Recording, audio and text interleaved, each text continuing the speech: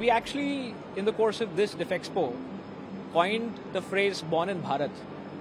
There is enough talk about made in India and so on and so forth. Now, there's a difference between something which is made in India and something which has been homegrown.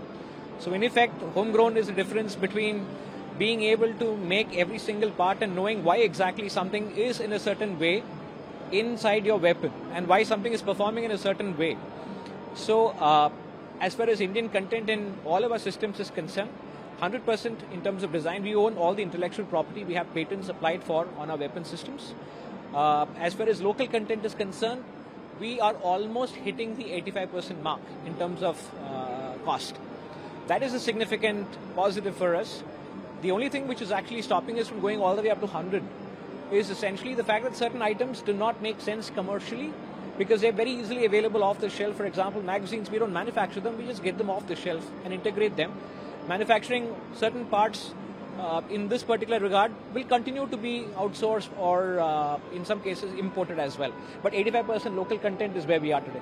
And uh, are you participating in any of the Indian Army tenders for uh, rifles? And So the thing is this, right?